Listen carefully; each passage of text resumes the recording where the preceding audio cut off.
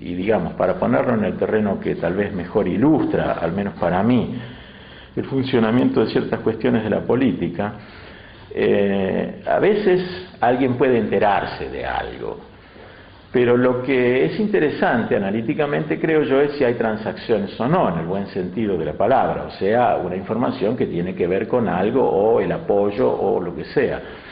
Creo que absolutamente nadie eh, ha dicho nunca que haya hecho una contribución al funcionamiento de la política económica que entonces se puso en práctica en función de alguna transacción anterior. Y eso creo que es la respuesta más confiable desde el punto de vista analítico que puedo dar. uno o dos días después de los anuncios, tal vez al día siguiente de los anuncios formales, se había organizado una gran reunión en algún teatro en la calle Corrientes eh, para informar a toda la gente del radicalismo respecto a qué era lo que se había puesto en marcha. Eso era una mañana, me acuerdo bien. Y bueno, llego yo allí con algunos de mis más estrechos colaboradores. El caso aquí es Juan Carlos Torres. Y entonces está lleno. Y efectivamente miro por entre la cortina y estaba repleto, repleto, gente parada en los pasillos, todo, era un mundo. Bien, entonces, conociendo inclusive algunas de mis debilidades, pero poniendo en claro tal vez algunas de las situaciones que, extremas que se viven en este terreno, eh, nosotros teníamos alguna duda respecto a la recepción que la gente pudiera tomar de estas medidas y particularmente también dentro del grupo político que debía acompañar esto y que había una operación sorpresa por detrás. Entonces yo no quería cometer ningún error y traté de memorizar muy cuidadosamente un inicio. Una vez que empezaba después las cosas podían fluir bien, pero mm, no había, no quería yo cometer ninguna equivocación, empezar por un mal camino. Entonces habíamos elegido una cierta forma de empezar el diálogo, ¿no? Bien, entonces por ahí me toca entrar, solito. Abro la y me voy allá, al escritorio que tenía. Y cuando di el primer paso se produjo un episodio muy sorprendente, conmovedor para mí. Una ovación. Y la ovación me seguía, y yo llegué y me senté allí, o no me senté porque no podía sentarme frente a semejante manifestación de apoyo, y me quedé ahí como mm, medio desconcertado, pero sin conocer las reglas, no sé qué hay que hacer, hay que agradecer, yo no tenía experiencia de actos masivos, y mucha gente, entonces, no sé, este, hagan silencio, pero bueno, si quieren aplaudir, aplaudan, no sé, yo, era una confusión para mí.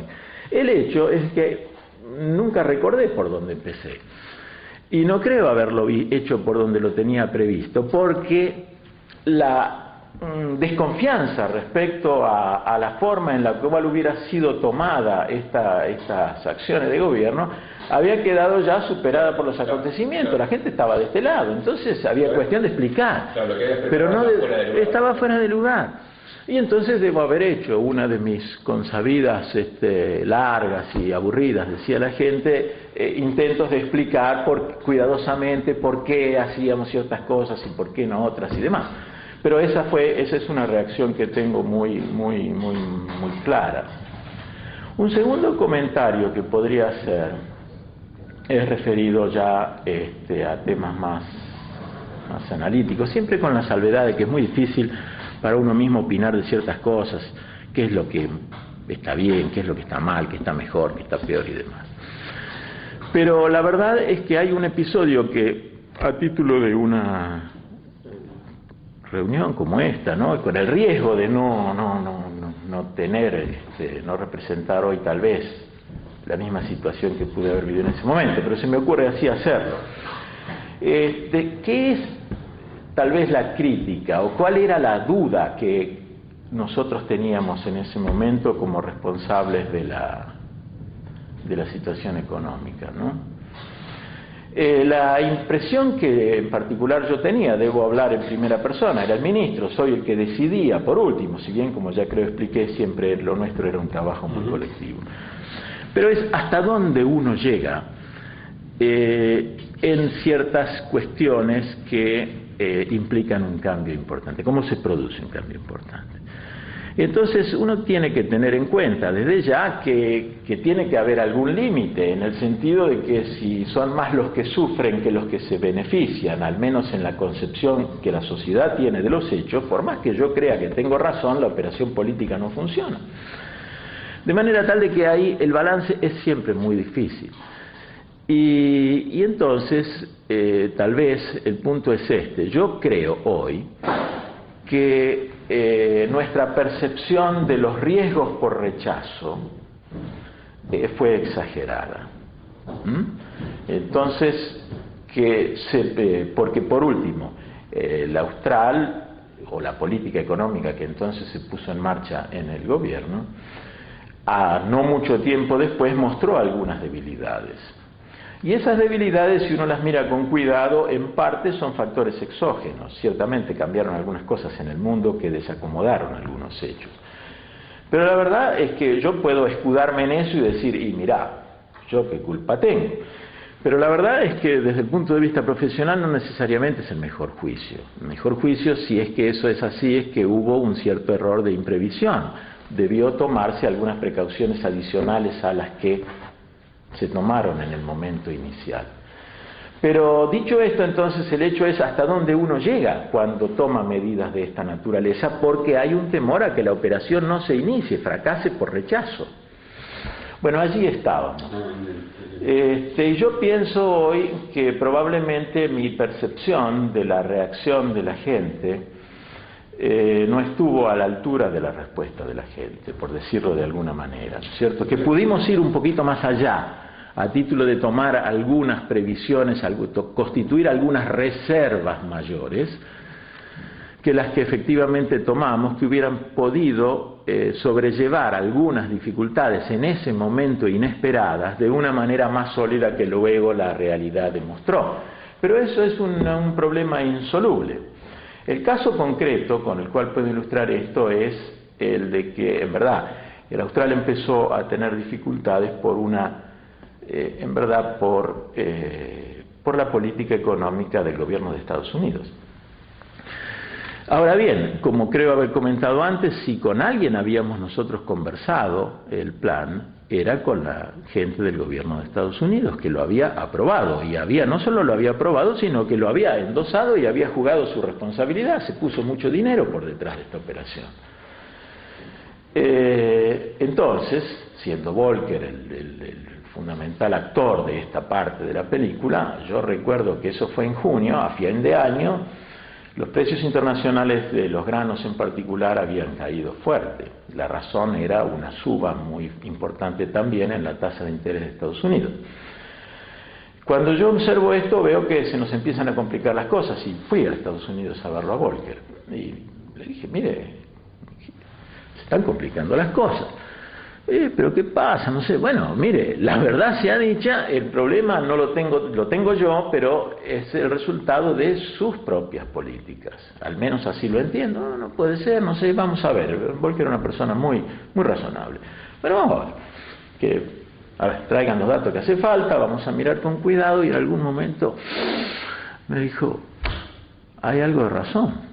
Este, hay algo de razón, y era cierto que cayesen los precios de los granos y que aumentase la tasa de interés internacional implicaba que las cuentas financieras en dólares que habíamos hecho para sostener el austral tenían dificultades.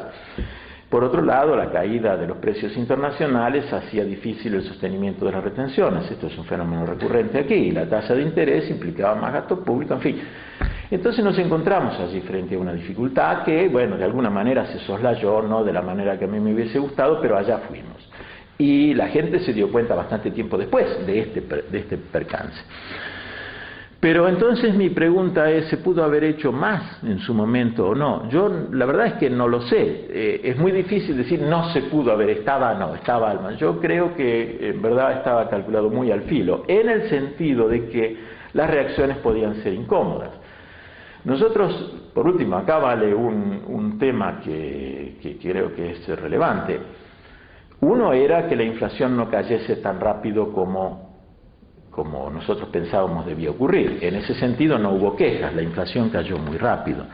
El segundo problema es la recesión, o sea, los economistas tenemos cierta idea de que una recesión puede contener una inflación. Justamente la idea que nosotros llevamos adelante en ese momento es de que no era a través de una recesión como se iba a controlar este proceso. Y efectivamente no hubo tal cosa. Y una garantía para que eso no ocurra era una ingeniosa fórmula por lo cual los precios paraban un día y los salarios paraban un tiempo después, habiendo mecanismos de negociación ya incorporados que implicaban de que los salarios continuaban, este, digamos, no tenían quita o, tenían una indexación que el resto de las variables no tenían. Ahora bien, esas figuras que implicaba en la práctica un 15% de crecimiento del salario real en, un mes, que no es una cosa menor este, desde el punto de vista real, ahora desde el punto de vista de una vorágine inflacionaria prácticamente pasa desapercibido.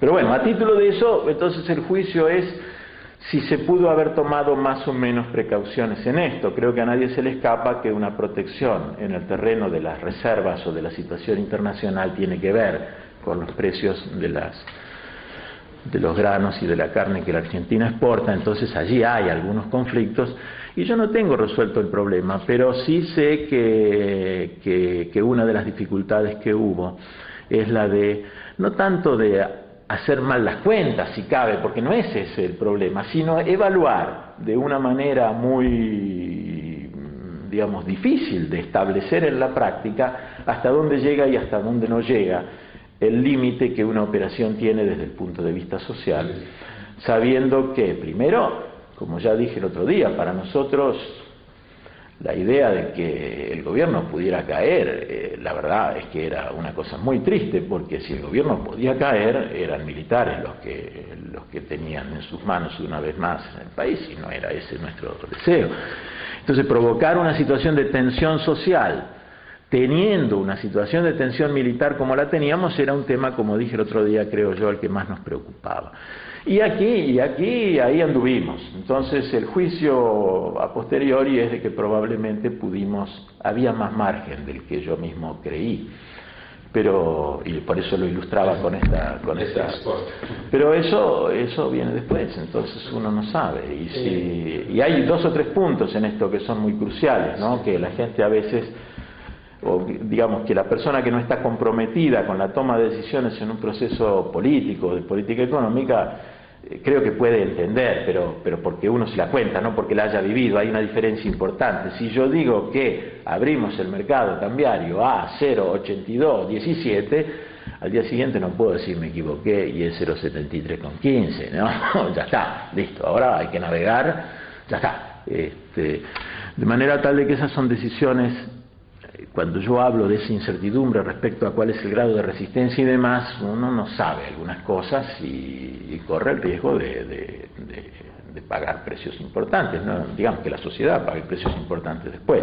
Por suerte no fueron graves, pero es probable, visto en perspectiva.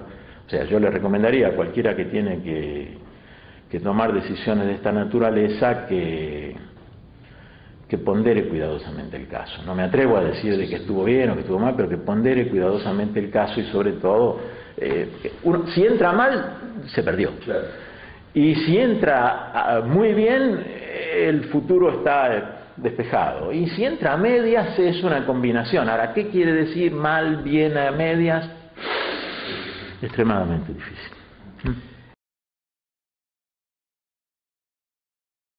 Yo diría había mucho trabajo para hacer en el territorio propio, aparte de mirar un poco qué es lo que estaba pasando fuera. Yo diría que en general la reacción de la sociedad como tal fue mm, particularmente positiva, eh, particularmente positiva.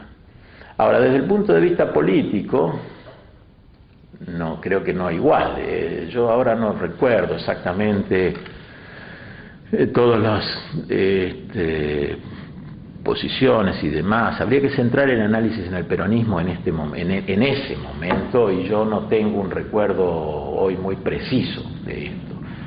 Creo que se puede decir una cosa muy cierta, había elecciones muy pronto.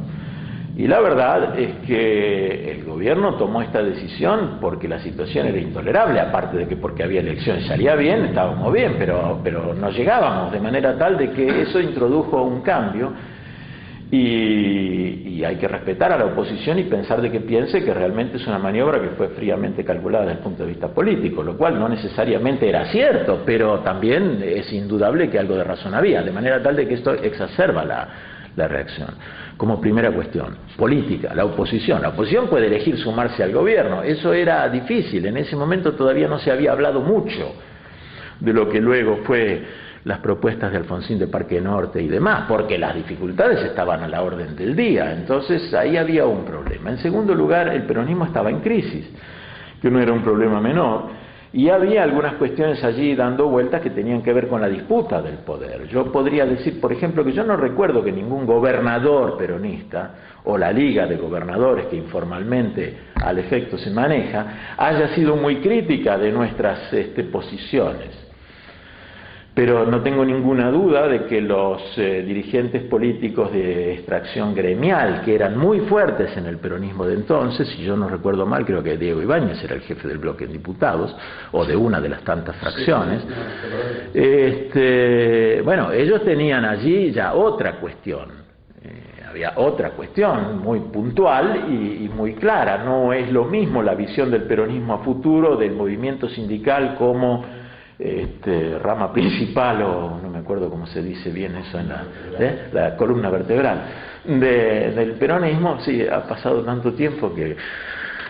Eh, o con una posición política. Yo creo que la gente del mundo político estaba más eh, considerada de alguna manera, pensando acá hay una novedad, esto puede ser, los dirigentes sindicales estaban un poco más este, un poco más dispuestos a la lucha, entre otras razones, porque no hacía poco tiempo había pasado una ley sindical de, democracia, de instauración de la democracia en el mundo sindical que no había tenido éxito por el famoso voto allí, y demás, entonces había una cierta lucha, y por último, la bandera de lucha del sindicalismo en ese momento era la defensa del salario real y, no tanto del, problema del empleo, porque había casi pleno empleo en la Argentina de entonces, pero sí, pero entonces cambiaban las coordenadas de la lucha y, hubo oposición. Pero, pero más allá de los episodios, por supuesto, yo no creo que, digamos, que, le haya hecho el gobierno no programó los paros sindicales que, que, que, Gualdini llevó adelante pero al menos mi reflexión es que tampoco fueron el escollo más grande que el gobierno afrontó. ¿no? Eh, ciertamente, no, no, no, creo que ese tipo de oposición haya sido el, el factor fundamental. Por último, las elecciones del 85 ganó el radicalismo con, con una gran comodidad. O sea, eso estaba mostrando entonces que había una posición en la sociedad que no necesariamente quedaba ordenada desde el punto de vista del tradicional predominio del peronismo como fuerza política que había sido a lo mejor quebrado de una manera sorpresiva por el triunfo de Alfonsín y entonces volvíamos a lo de antes. No, la verdad es que mi impresión es que no era... No sé si soy... Este, hubo muchas reuniones, hubo reuniones, ¿qué quiere decir apoyo? Ahora vamos a los apoyos, esto era la oposición los apoyos. El resto de los partidos políticos, eso como dije la otra vez, se manejaba Trócoli con bastante habilidad y había un ejercicio responsable de la política, entonces nadie se iba a negar a una reunión. ¿Qué quería decir apoyo? No sé, eso lo veíamos después. El mundo empresario, que sería la otra cuestión que andaba en danza, el mundo empresario, eso es bueno saberlo en este país, en general no, no ejerce oposición manifiesta hasta que las cosas están tan mal como para que el resultado sea inevitable.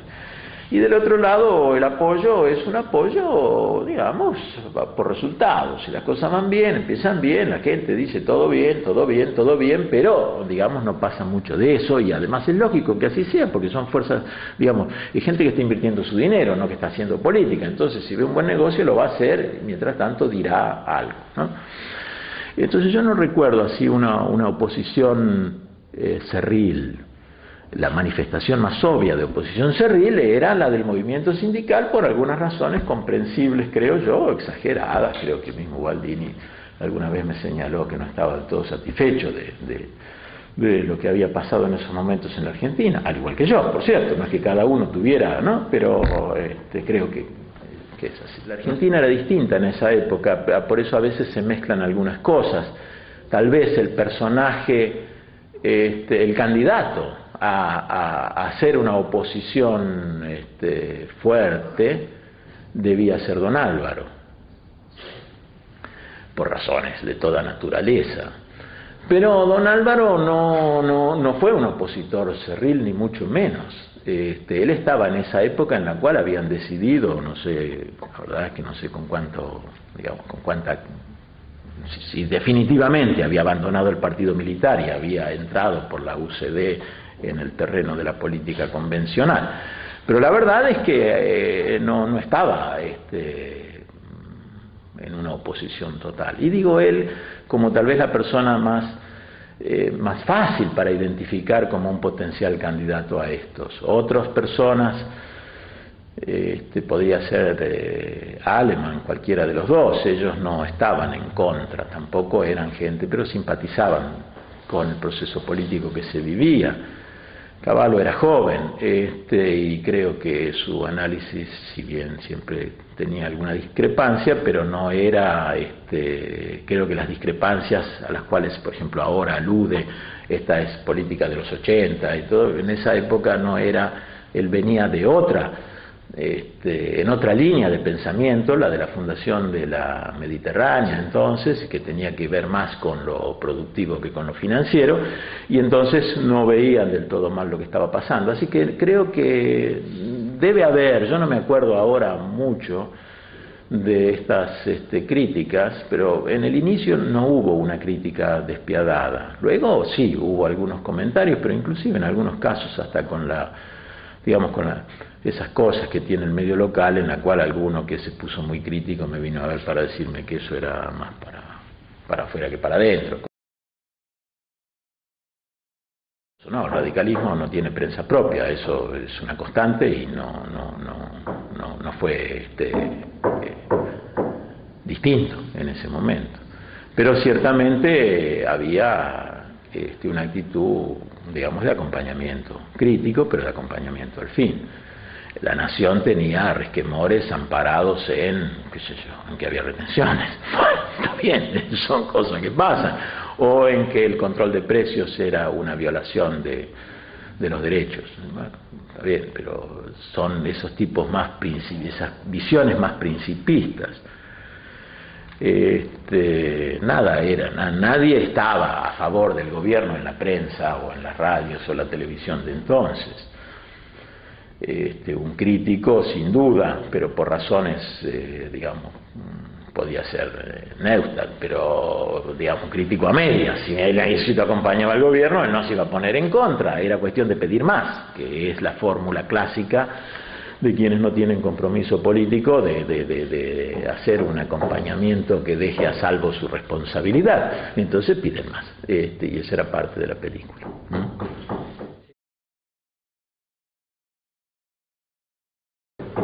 Una vez que nosotros definimos hacer la operación que se conoció como el Austral, eh, el grupo que estábamos en esto se cerró mucho respecto a la administración, he dado varios ejemplos, ¿no es cierto? Eso no es una forma de, conducir negocios de la nación, de manera tal de que una vez que se rompió la cáscara y acá está, este, entonces tenemos que ir a la administración cotidiana. Y la administración cotidiana es tener que hacer muchas cosas, entre otras organizar el gobierno. Porque creo que yo señalé en su momento que cuando yo llegué al Ministerio de Economía no introduje cambios fundamentales en las, desde el punto de vista de las personas que, eh, desempeñaban los cargos de primera línea.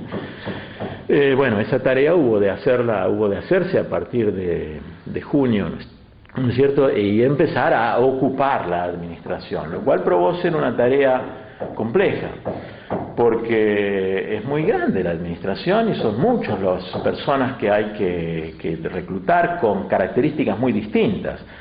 Y en verdad nuestra experiencia era la de un grupo de personas que estábamos sólidamente identificadas desde el punto de vista de nuestro razonamiento económico, pero no desde el punto de vista de nuestra gestión política o gestión de administración.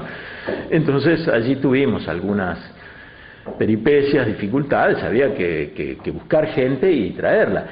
Por cierto, había buena predisposición. Y tal vez un caso, citado al pasar y referido al proceso político, es de que entraron al gobierno un grupo de técnicos, llamémosle así, este, economistas del peronismo, que vinieron allí, que eran gente que tenían que ver con lo que estaba pasando, por supuesto amigos, todos éramos amigos.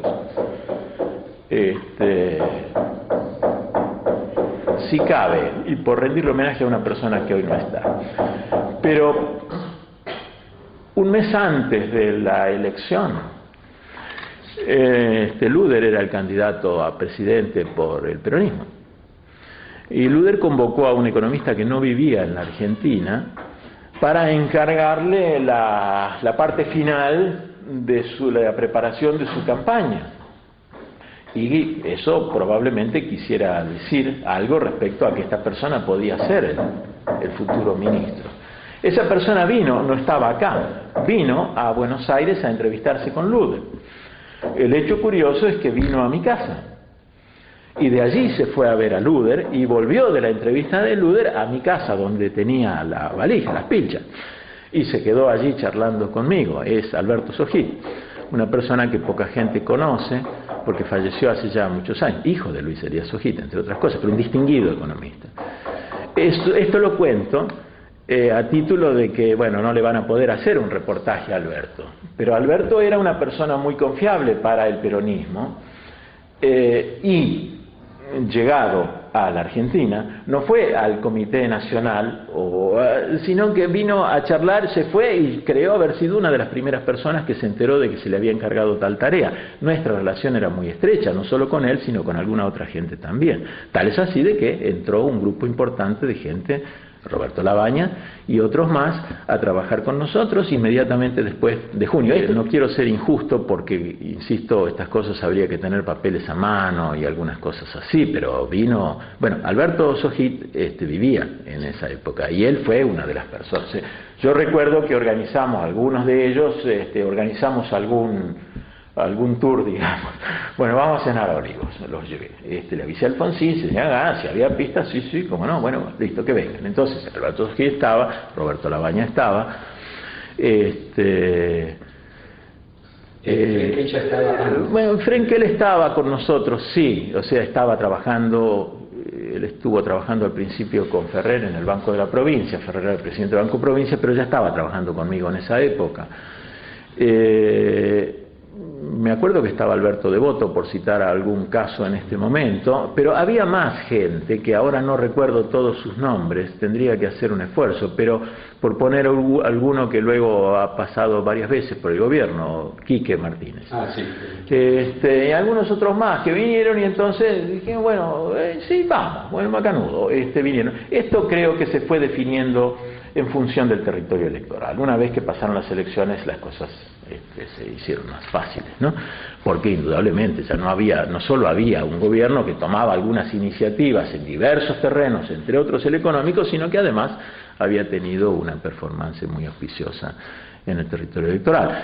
Entonces, uno era este problema de organización y el otro es la administración cotidiana de los hechos, porque, eh, bueno, primero hay que tomar relación con todo el mundo. Entonces, eh, la, la, agenda de un ministro de Economía es una cosa terrible no sé, eh, si uno no se administra con cuidado, está atendiendo gente todo el día. Todo el mundo quiere ir. Todo el mundo quiere decir, todo aquel que considera que si llama por teléfono y aparece su nombre en una lista va a ser atendido. No son los pobres. ¿no? No son. Son básicamente los empresarios, los que quieren tener una conversación, mirarle la cara, qué sé yo, ver, esas cosas. Es un problema de conocimiento. La otra es la administración cotidiana de los hechos, donde hay sorpresas. La administración pública ya andaba mal en Argentina de entonces, había que reconstruirla. Y por otro lado, toda la cuestión política, porque una de las cuestiones que hoy se olvidan, pero que en ese momento era muy importante, es de que una parte fundamental del trabajo de, la administración es generar un sistema legal de soporte dado que mucho de lo que había estaba mal hecho o, en fin, o, no era tan antiguo que no tenía sentido. Entonces hay que introducir continuas reformas en el terreno legislativo. Y eso implica trabajar con el Congreso muy fuerte. Eh, entonces todo eso son problemas, digamos, de gestión que hacen que el tiempo que se dispone es poco que la cantidad de gente que se necesita nunca alcanza y que la búsqueda de talento sea una cuestión fundamental para cualquiera que quiera estar a tono con las circunstancias. Entonces eso era parte de, los temas que teníamos. Ya comenté que hubo algunos percances en el terreno internacional que realmente nos traían alguna dificultad seria y en fin, no, no, no sé, a lo mejor no soy muy preciso en mi, en respuesta, pero ese es el tipo de problemas que, que uno afronta. Más una cuestión que tal vez, y perdóname, que he puesto así resulta un poco graciosa, pero a mí me interesa para quien vea, este, escuche estas cosas, a veces los por dónde va la cabeza de uno. El contrato del ministro de Economía no es a término, ni no es a plazo definido, es incierto, es un contrato incierto. Digo esto, eh, mi relación con Alfonsín siempre, aún hoy, sigue siendo de absoluta y extrema confianza. Yo nunca tuve una sombra de duda respecto a el respaldo que yo tenía como ministro de Economía y del otro lado jamás tuve, durante todo el periodo que estuve en el gobierno, la menor duda respecto a mi respaldo a la política general del gobierno. Por supuesto, uno puede disentir en algún terreno, discutir honestamente, pero eh, nuestra confianza se, se formó y se forjó de una manera que ojalá muchos pudieran, después de lo que he visto, este, ojalá este, otros pudieran llegar a desarrollarla, ¿no es cierto? Entonces, eh, eso va allí, pero la verdad es que hay un problema, y el problema es ese. Eh, esto era en el año 85, nuestro gobierno terminaba en el 89. Entonces, los problemas de organización no son menores, porque uno requiere de un ejército allí de colaboradores. Pero tanto en la visión de uno por unas razones como en la visión de los otros por otras razones está el hecho de cuán cierto o incierto es el futuro, el grado de compromiso, hasta dónde pongo, cuánto más vale hacer hoy algo que va a dar resultado dentro de tres años frente a algo que va a dar resultado dentro de tres meses pero que puede no andar tan bien dentro de tres años y demás. Eso es un gran problema de organización y de decisión. Y que en verdad yo creo hoy que también, eh, ya no para mí, pero le recomendaría a cualquiera que piense que los plazos pueden ser más largos de los que uno prevé. No porque yo hubiese previsto que mi tiempo eh, era limitado como ministro de Economía, pero que los plazos pueden ser más largos y en consecuencia hay que, hay que mirar con más cuidado que lo inmediato eh, para definir la agenda de las acciones a tomar. ¿no? Yo creo que nosotros en algún momento perdimos un poco el tiempo, en ese sentido, perdimos la noción de tiempo. Entonces nos concentramos mucho en la administración de lo cotidiano, resulta que al pasar un año o dos o tres, como terminaron pasando, dice, bueno, pero mira vos, de haber previsto que este, esto iba a ser así, se pudo haber tomado alguna este, alguna línea distinta en algún momento, profundizar más algo, prever mejor alguna cosa. Es muy demandante el trabajo, creo yo, para un ministro de Economía, salvo que, que tenga un contrato con Dios que yo no tuve. Este, y entonces eh, uno tiende a veces a confundirse sin duda alguna, hay que ser muy cuidadoso. Y de nuevo, hay que tener la mayor cantidad de gente posible en operaciones y sobre todo no solo eso, sino también un grupo importante de gente fuera de la operación, que es el que puede entonces eh, pensar. un poquito más, con un poco más de visión de futuro. El plan austral es un invento de la gente, no mío. En el sentido siguiente, no, en el discurso no se habla del plan austral, se habla del inicio de un proceso de reforma económica. Y no tengo ninguna duda de que ese era mi pensamiento. ¿Mm? No es acá, eh, se toca pito, mañana no. Se inicia un proceso de reforma económica. Para que esto sea viable hay que tomar algunas decisiones. Cambio de moneda, precio, desindexación, lo que vos quieras. Pero el problema está más allá. Eh, y esa es la tónica del discurso y así lo pensábamos en ese momento. Hay algunas cosas más que las que vos acabas de señalar, pero me voy a referir a estas dos. Primero, desde el punto de vista de, la reforma tributaria, ciertamente, la estructura tributaria que la Argentina tenía entonces era muy floja desde cualquier punto de vista. Lamentablemente lo sigue siendo hoy, no es parte del problema, no fuimos exitosos en la reforma tributaria que trató de imponerse. Este, pero el problema estaba allí complicado por el hecho de que con motivo del el inicio de este plan de reformas se habían tomado decisiones que inexorablemente iban a ser transitorias y nosotros lo sabíamos. Retenciones, ahorro obligatorio, no sé si el impuesto al cheque también lo pusimos ahí o más adelante, pero digamos, son las fórmulas a las cuales se recurre recurrentemente, como bien sabemos ahora. Entonces eso había que hacer algo. El problema para mí más irritante siempre era entonces, y lo sigue siendo ahora, que el impuesto a las ganancias no ocupaba en el territorio de la política fiscal argentina el papel que yo entiendo debe tener y que entiendo debe tener por lo que ocurre en otros países del mundo, donde efectivamente no es un 3% del producto el impuesto a las ganancias, sino que puede llegar a ser 10 puntos del producto. Y en muchos lugares es así y más. Entonces, este, ganancias estaba mal y había que hacerlo de nuevo. Y, por ejemplo, por poner el caso, allí concentramos la atención e introdujimos cambios sustantivos en el régimen de ganancias, con una sorpresa. Más allá de que probablemente el régimen que tratamos de instalar no fuese el mejor, lo que ocurrió fue una cosa muy sencilla. Ponemos en marcha el nuevo régimen, empieza a funcionar. ¿Cómo anda la recaudación? Ni mosquea. ¿Y por qué no mosquea? Porque el sistema anterior generaba créditos a favor del contribuyente y en detrimento del Estado por tal magnitud que por lo menos durante el primer año del funcionamiento de las nuevas normas había crédito a favor de los contribuyentes, de los grandes, ¿no? Ganancia no pagan los pobres, que este, prácticamente implicaban de que no pagaban un peso. Con lo cual este, este, es un problema que sí, ahora es menos, pero sigue ocurriendo. Pues la ganancia sigue siendo un impuesto de, eh, ahora mejor, pero de escasa recaudación en la Argentina y había, ahora no hay este problema, pero sí lo había entonces. Entonces una reforma que pintaba bien, ¡pum! Este, no, no funcionó porque no cubrió debidamente este hecho, que no es un problema menor, en parte fue por nuestro desconocimiento, pero también un problema legal. Si yo soy acreedor del Estado, bueno, que cambie la ley, pero mi acreencia es con fecha anterior y está fundada en derecho, así que no me vengas con vuelta. De la legislación tributaria, por razones que son comprensibles, es siempre hacia adelante. Ahora ocurre que cuando hay sistemas de créditos, entonces el para adelante no es a partir del día de mañana, sino a partir del día que el crédito esté. Esto tenía que ver con la promoción industrial, que fue otra de las cosas que entonces allí se cambió, porque los sistemas de promoción industrial que se habían construido en la Argentina eran realmente calamitosos.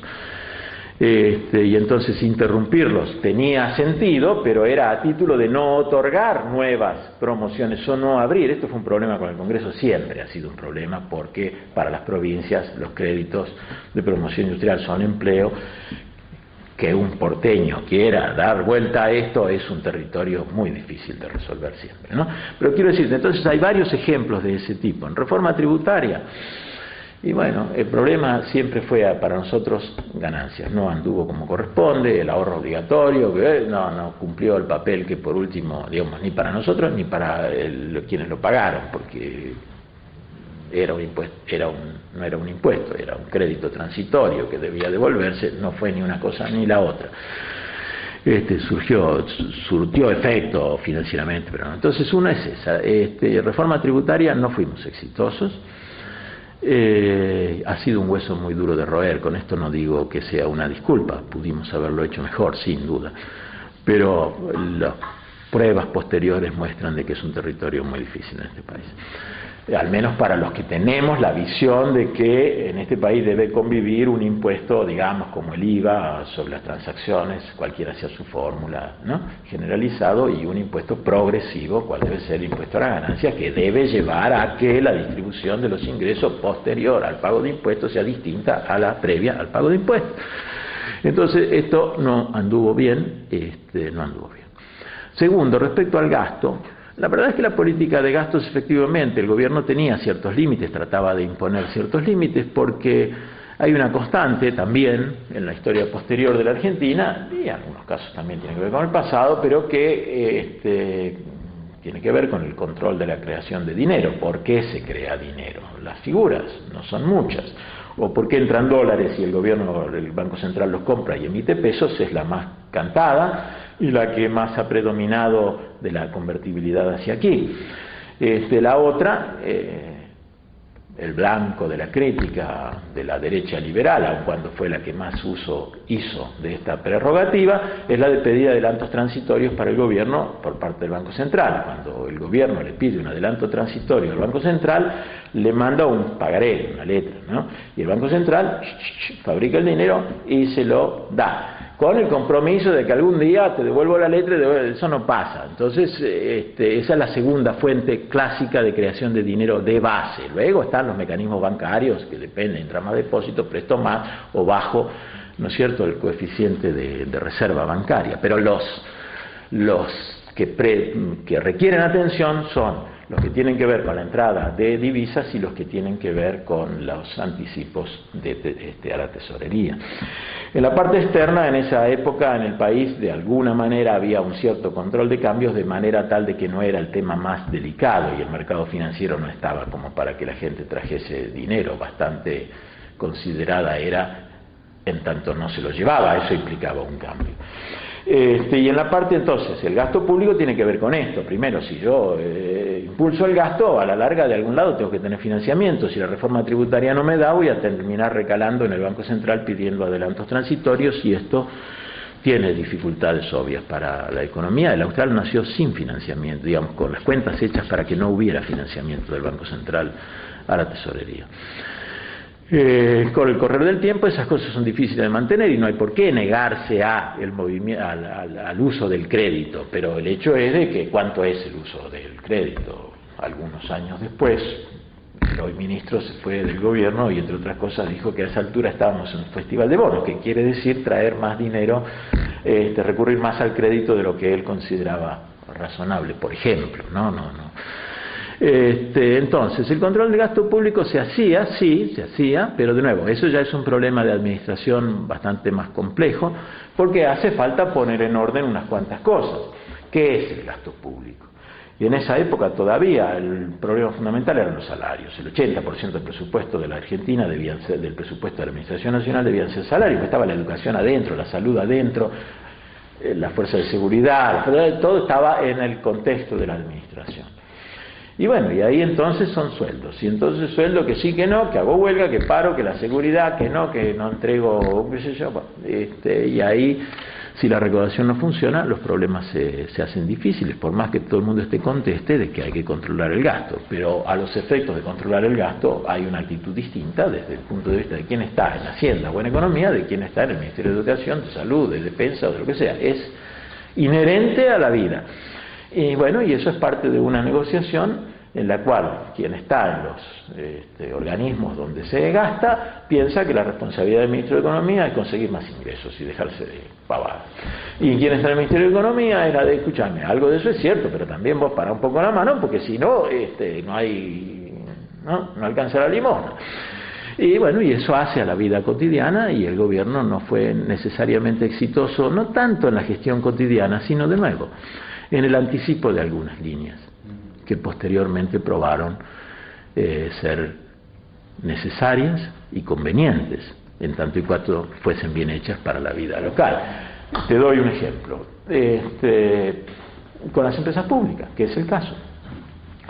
Entonces, hay un problema de todos los servicios públicos eran públicos, los servicios, sí, los, digamos, IPF o teléfono, lo que vos quieras, electricidad, eran todos este, públicos hacía falta inversión, que no lo había. De manera tal de que, ¿cómo se hace la inversión? Una manera es que el gobierno recaude en exceso de su gasto corriente y ponga la plata. Estábamos muy justos, no daba. Otra es que esas empresas pidan, se endeuden en algún lado este, a título de pagarla, en el Banco Mundial o en el mercado de bonos. Es bueno recordar que el gobierno del proceso y particularmente Martínez de Osa había hecho algo de esto y había dejado una deuda externa de proporciones descomunales amparada en ese punto, de manera tal de que salir nosotros a decir, bueno, ahora no, este, vamos a emitir bonos por IPF en el mercado, creíamos que era la razón del problema, no la solución del problema. Entonces había un problema de inversión en el sector público y la verdad es que durante un tiempo, por lo menos un año, nuestra visión en la forma de afrontar este problema no fue adecuada a los hechos. Eh, fuimos por Somisa y pusimos el dedo en, en el avispero, porque por encima de cualquier otra circunstancia, allí pasaron dos o tres cosas que son ilustrativas, creo yo, al menos en mi experiencia de estas cosas.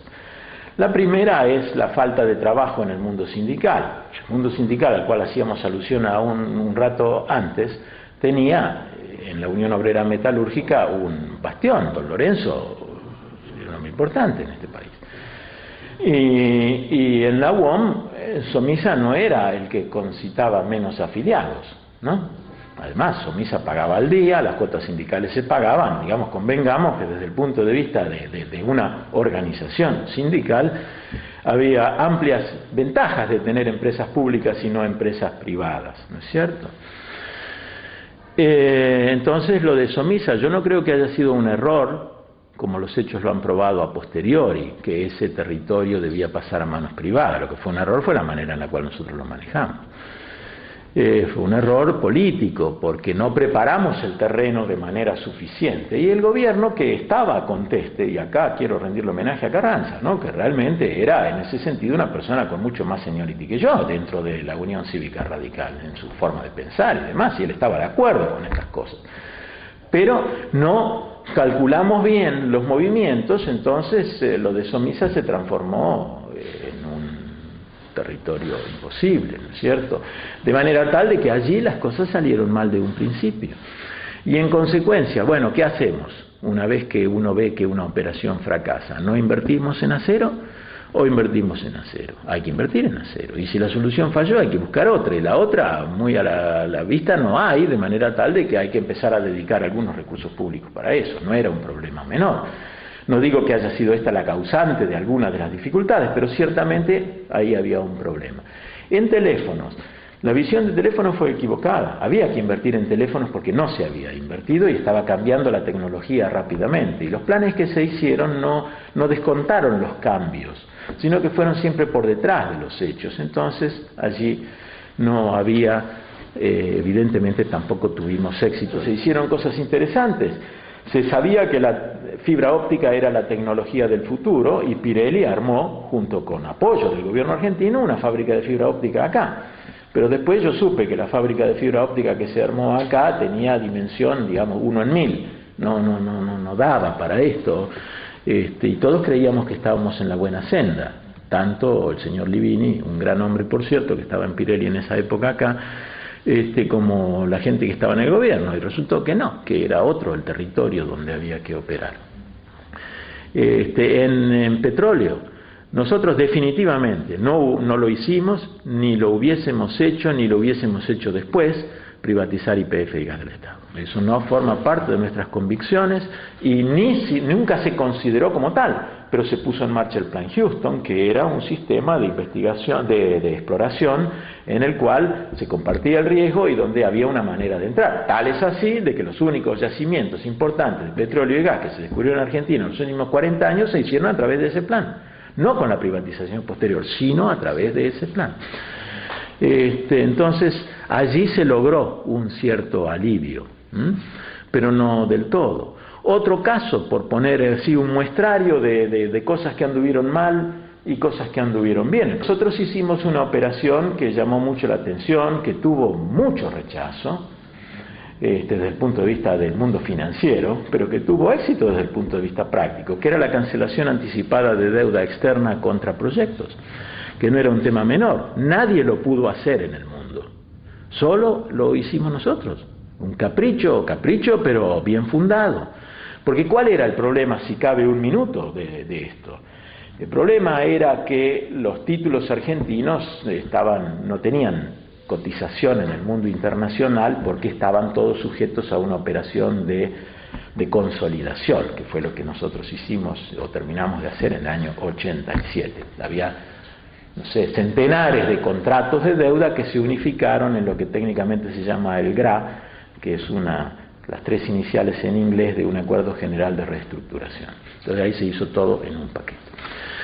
Este, pero había transacciones, por más que los bancos que, consolidaban la deuda, la deuda era con bancos, entonces el comité de bancos era el representante con quien nosotros negociábamos cuánto era la deuda y cómo se allí se unificaba. Pero había, y los bancos había una unificada posición y al título de las operaciones posteriores entraron al GRA con la posición que tenían al fin del gobierno militar. ¿Mm? No, no, no hicieron, el, contrato es así, fue así. Sin perjuicio de lo cual había cambio de manos informal por detrás de ese contrato.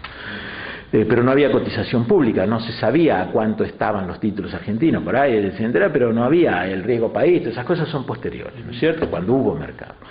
Entonces nosotros sabíamos que había transacciones y había gente que se estaba sacando que un título que, cuyo valor nominal era 100, lo estaba vendiendo por 15 por más que seguía en el contrato vinculada a nosotros a ver cómo salían los 100, pero él se salía, era el apoderado de alguien que compraba.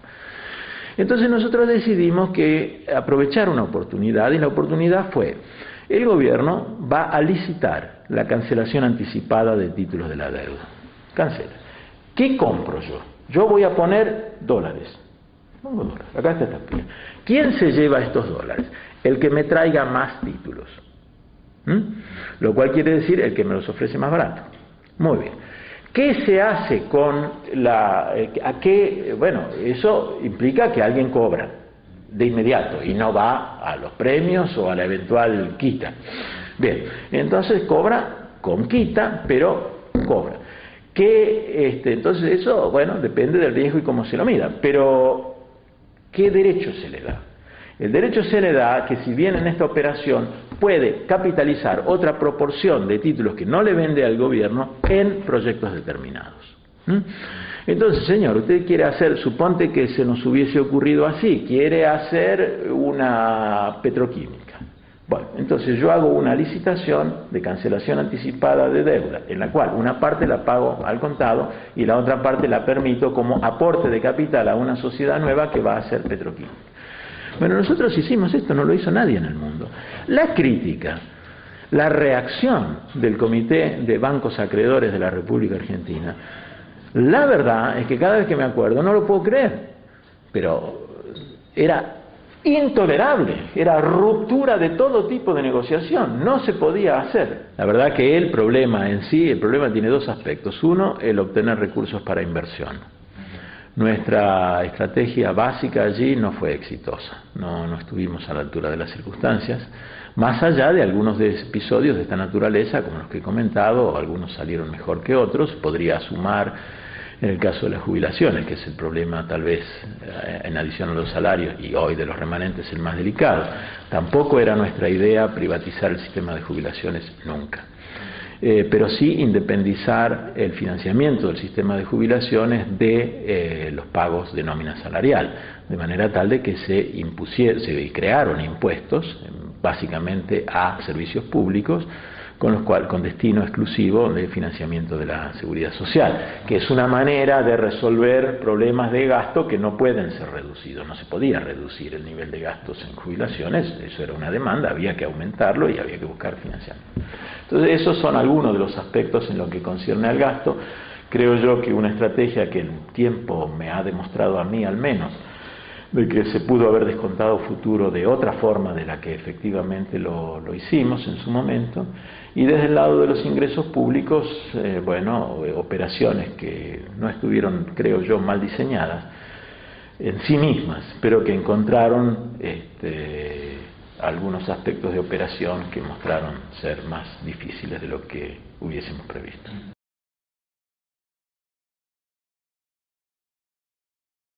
Es eh, propio de cualquier negociación de convocatoria o del, derecho comercial, ¿no es cierto?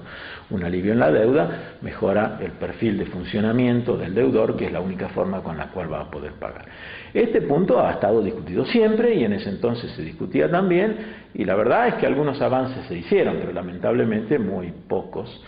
Y el básico que se hizo fue lo que se llamó el Plan Baker en su momento, ¿no es cierto? Este, hace a la verdadera historia que el plan Baker eh, se hizo en función eh, de una negociación con la Argentina. Tal es así y que creo que muy pocas personas en el mundo, si alguna más que yo, sabía que en Seúl en el año 85 se iba a anunciar el plan Baker. Eh, pero así nosotros lo dijimos en Seúl y eh, lo sabía bien Baker, por cierto, es un pequeño paso en la dirección correcta, no pasa de eso. Y él sabía que esa era mi respuesta anterior y la hicimos pública y, y ese plan duró poco tiempo. Luego vino Don Brady, que lo sucedió a él en el cargo del Tesoro, con un plan un poco más generoso, pero más asociado a, privatizaciones. El plan de Baker no tenía privatizaciones porque al menos en lo que concierne a las discusiones que había habido con el gobierno argentino por mí representado, ese tema no está. ¿Eh? Eh, y eso tiene que ver con estas formas. El principal opositor al plan Baker fue el Citibank, no nadie otro en el mundo. El Citibank, entonces presidido por John Reed, una persona que nació en la Argentina, hijo de un gerente del frigorífico Swift en Rosario, él nació acá, este, y estaba al frente del Citibank entonces. Entonces, la crisis de la deuda de entonces se había iniciado por el, este, el default de México, que duró pocos días, pero así fue en el año 83. Y se venía en un proceso de reordenamiento. Eh, que fue definiendo los términos de esta negociación. Se arman los comités de bancos, se arma Cartagena, a la cual voy a volver ahora en un minuto porque es la segunda parte de tu pregunta, y entramos en estas negociaciones. Eh, el club de bancos era club de bancos, no había otros acreedores, eran todos acreedores bancarios. Y en su momento inicial, la verdad es que si la deuda los 250 mil millones de dólares que juntábamos entre México, Argentina y Brasil de deuda entraban en default, el problema para los bancos existía. No era un problema menor, tampoco iban a cerrar, pero era un problema. De manera tal de que el gobierno de Estados Unidos, eran todos básicamente bancos americanos o internacionales con sede en Estados Unidos los que andaban detrás de esto, entonces Tenían ellos una estrategia de defender su propio sistema financiero, lo cual podrá o no gustar, pero es razonable suponer que así es. Y ese sistema entonces estaba en que los bancos toleraban algunos atrasos, cosas que pasaban por ahí, se pagaban intereses, sino el capital para mantener las cuentas al día, evitar que los bancos tuvieran que mandar a pérdidas o a provisiones ciertas operaciones, se convivía con mucha tensión, pero se convivía en ese territorio. Cuando Baker hace su anuncio en Seúl en el año 85, eh, junto con Volcker, pocos días después, eh, el City, Nueva York, informa a Wall Street que se acabó la música, que ellos, en lugar de seguir acompañando esta operación de, de rotación de fondos, daban la pérdida. Daban la pérdida, iban a hacer una provisión, técnicamente quiere decir eso, yo destino de mis utilidades si gané 2.000 millones de dólares, dedico 1.500 millones de dólares a ponerlos en una caja para decir, con esto voy a armar ya, una para eh, cubrir las pérdidas que pueda tener en esto. Entonces no estoy más en la negociación, salgo de la negociación.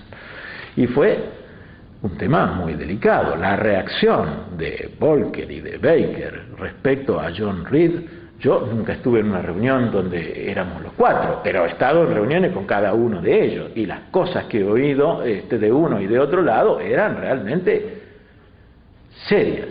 Y no era en el café de la esquina, esto ocurría en Washington, en despachos oficiales, una cosa realmente impresionante. Entonces había mucho, mucha eh, tensión. Eh, y los bancos entonces dijeron, no acompañamos más. O sea que el plan Baker, si para nosotros era insuficiente, a los 15 días, una vez tomada esta decisión, había muerto sin nacer, porque los bancos no estaban dispuestos a hacer el plan. El plan era, ponemos todos, diría la perinola. Nosotros ponemos un poquito más, ustedes ponen un poquito más, nosotros ponemos un poquito más y zafamos. No, no, esta metodología basta. Nosotros vamos por mercado. Entonces las tensiones eran, creo, esto, esto lo ilustra mejor que alguna discusión particular entre nosotros. Ahora, respecto a la unificación de personerías, los acreedores habían unificado personerías cuando ocurrió lo de México, en club de bancos. Todos los clubes de bancos referidos a países de América Latina eran presididos por el Citibank. y no solo presidido por Citibank como institución, sino por John Reed, eh, por Bill Rhodes como este, actuante, que era uno de los vicepresidentes del Citi. Y él presidía todos los... de manera tal de que todas las negociaciones terminaban allí. Frente a eso, a esa situación de hecho, eh, se decidió, por iniciativa del gobierno argentino, en el año 84, eh, iniciar reuniones para unificar posiciones de deudores latinoamericanos, el Club 250. Eh, esto tuvo que ver, acá hubo un percance al principio, era Bernardo, ministro de Economía, la Argentina entró en un pequeño default, este, vino gente de Estados Unidos, Mulford, se hizo alguna operación en colaboración con los bancos centrales de América Latina y se zafó de esta discusión, pero eh, estaba muy tenso el panorama. Entonces se decidió organizar por iniciativa argentina una reunión para unificar posiciones, intentar. Esto fue lo de Cartagena, una reunión política, a la cual fueron cada los países de América Latina estaban representados por su ministro de Relaciones Exteriores y su ministro de Economía para tener una idea del armado un poco distinto de la operación. No estaban los acreedores, y se decidió allí tratar de llevar adelante una política en común. La verdad es que no había mucho ambiente para esto más allá de la declamación, porque para cada uno de los intervinientes, yo puedo hablar de los demás, pero también puedo hacer alusión a la Argentina, las, eh, primero eh, el calendario de reuniones o de crisis estaba dado por acontecimientos ya este, estables. Entonces, si a mí me vencía, a mí, a la Argentina le vencía un préstamo o un contrato con el Fondo Monetario, qué sé yo, el mes que viene, y a Brasil dentro de seis meses, la verdad es que unificar posiciones no, no era difícil. Esta es una cuestión. La otra cuestión es de que no había mucho ambiente en ese sentido, o fue ambiente cambiante. El gobierno de México todavía no había hecho el Tratado de Libre Comercio con Estados Unidos, pero la verdad es de que la Madrid tenía una posición que terminó siendo bastante más independiente que Salinas de Gortari, que lo sucedió, pero que era el ministro de Finanzas entonces, ¿no es cierto? Chiquito. Entonces, eh, ya tenían alguna idea de por dónde ir. En Brasil hubo cambios políticos importantes en este periodo, que al cual estamos haciendo alusión, hasta que llegó Funaro. Funaro era el más comprometido y por momentos el más firme también en, esta, en este territorio. Entonces los demás miraban por ahí y la verdad que en Cartagena, si bien yo no era responsable de la delegación argentina, era Bernardo el ministro, pero yo estuve en Cartagena, trabajé intensamente allí, y lo que nos quedó claro era que mucho dependía de nuestro propio esfuerzo, o sea, podíamos mantenerla. Nadie, por algo se hizo la reunión, nadie podía negarse a hacerla, pero la continuidad fue difícil. Hubo una sola reunión posterior en Punta del Este y ya allí quedó claro que se, se digamos, que era difícil convocar una tercera, de manera tal de que estos esfuerzos se fueron perdiendo por razones en parte comprensibles, porque todavía no, no, digamos, ni todavía ni después, nunca hubo una posición muy común en torno a este tipo de problemas, no era el único problema, un problema afligente, pero no el único que había en América Latina, era muy difícil unificar los calendarios, la posición de cada país era muy distinta y la visión de cada país era un poquito distinta frente a algunos de estos acontecimientos, de manera tal de que eso luego se surgió el mecanismo de reuniones de presidentes, no en reemplazo de Cartagena, pero la Argentina seguía tomando iniciativas, se, hizo, se comenzó a hacer esta reunión de presidentes que se hizo, me acuerdo alguna en Acapulco, alguna en Punta del Este, hubo varias de estas, y reuniones con los brasileros y demás, pero eh, eran más temas de política. Yo no recuerdo que haya sido nunca condicionalidad impuesta o sugerida, impuesta no es la palabra correcta, este, planteada por organismos internacionales en Argentina en esos años, la de la privatización. Sí hubo créditos vinculados a la privatización, pero en todos los casos gestados y generados por el gobierno argentino. Eh, en lo que concierne eh, desde ya, eh, al menos en esa época, no se entendía que las, lo que ahora se llaman reformas estructurales, entendiendo por ella privatización o cambio de régimen, sea de empresas públicas o de servicios sociales, este, fuese competencia del fondo. Eso vino después de, Hong Kong, de la crisis, de, cuando cayó el sudeste asiático. Eh, en el Banco Mundial tampoco había mucho que ver con esto, no había una presión que yo recuerde de esta naturaleza. Tal es así de que un episodio eh, también muy curioso fue la, asamblea del Banco Mundial y el Fondo en el año 88, que fue en Berlín, donde, eh, para entender cómo iban los problemas, nosotros teníamos dificultades con el fondo serias. Ya no estaba la Rosier respecto a cómo debían seguir las cosas. Eh, y habíamos encontrado un espacio de discusión y de negociación con el Banco Mundial importante. Y en la, en la, asamblea del Banco Mundial y del Fondo en Berlín en el año 88 ocurrió una cosa realmente insólita. Eh, hubo, digamos, el hecho público es una conferencia de prensa donde estaba el presidente del Banco Mundial, el director gerente del Fondo Monetario y yo, y donde se anunció que la Argentina entraba en un, un programa de corto plazo con el Banco Mundial, con el apoyo del fondo, pero no liderado por el fondo ni sujeto a la condicionalidad del fondo, sino sujeto a un plan de relativamente corto plazo, pero digamos no mediano ni corto, no sé cómo llamarle a eso, MIDI, digamos así, pero no un plan de, corto plazo del fondo. Y eso, bueno, también es de las tantas cosas que han pasado que nunca luego se volvieron a repetir. El banco pagó un alto precio por esa aventura, no solo se fue su presidente, que no es poca cosa, sino que también se, acabó la, la, perspectiva y el banco pasó a trabajar en otros temas. No es que la Argentina sea decisiva, respecto a lo que el Banco Mundial hace o deshace, pero quiero decirte respecto a ese punto. El plan que nosotros logramos se aprobase en Berlín, para sorpresa de todo el mundo, no era un plan que estaba asociado a procesos de privatización en la Argentina. No hay ninguno allí. Sino hay reformas que tenían más que ver con una forma distinta de insertarse en el plano internacional. Por ejemplo, modificación profunda del sistema de restricciones para arancelarias y del sistema arancelario también, por cierto.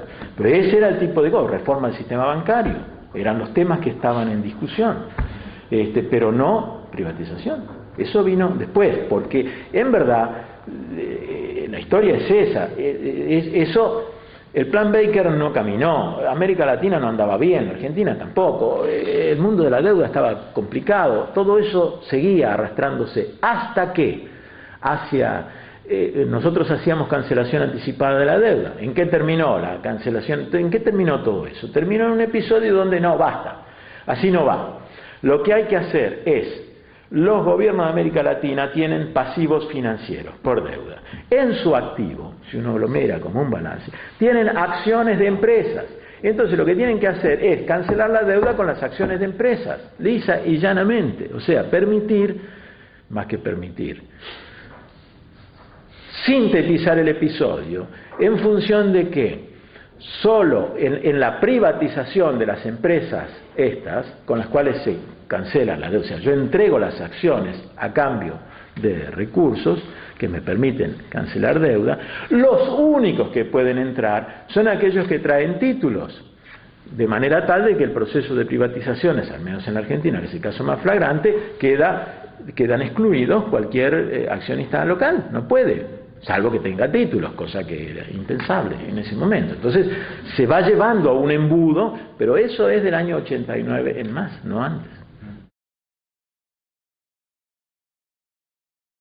El día que yo fui nombrado ministro de Economía o el día siguiente, eh, yo no había pensado qué hacer en el Banco Central. Y no ignoremos que el presidente del Banco Central era García Vázquez. Y parte de los conflictos que llevaron a mi presencia en el ministerio tenían que ver con ciertas diferencias entre García Vázquez y Grispun respecto a la marcha de la macroeconomía. Entonces, para eh, cuando yo llegué al ministerio y un poco en el clima del cual hemos hablado, no tenía previsto poner a alguien en el Banco Central. No me acuerdo muy bien si la renuncia de García Vázquez eh, fue conocida por mí antes de asumir el cargo, no estoy muy seguro.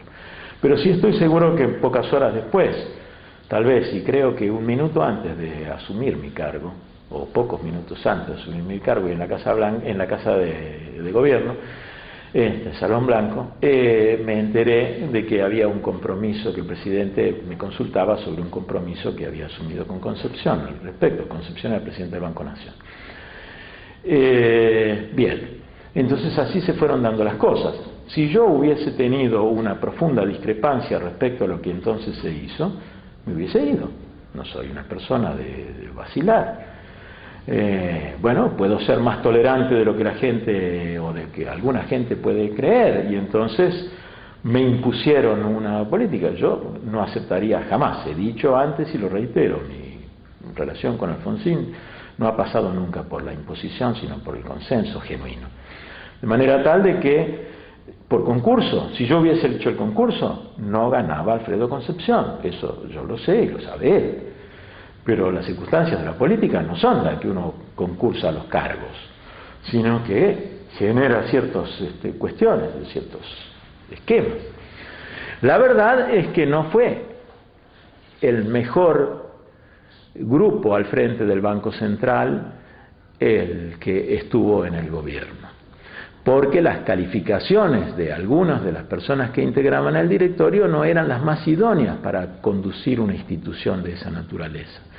Pero por cierto, eso no habla en detrimento de lo que la, gente del banco hacía o ponía, o en fin, tenía, hay dificultades, hay muchas anécdotas de cuestiones en las cuales alguno puede enojarse. Yo no voy a contar ni a favor ni en contra, no es mi estilo. Quiero decir que eh, pudo haberse hecho mejor este, la conducción de la política financiera de entonces. Sin duda alguna pudo haberse hecho mejor.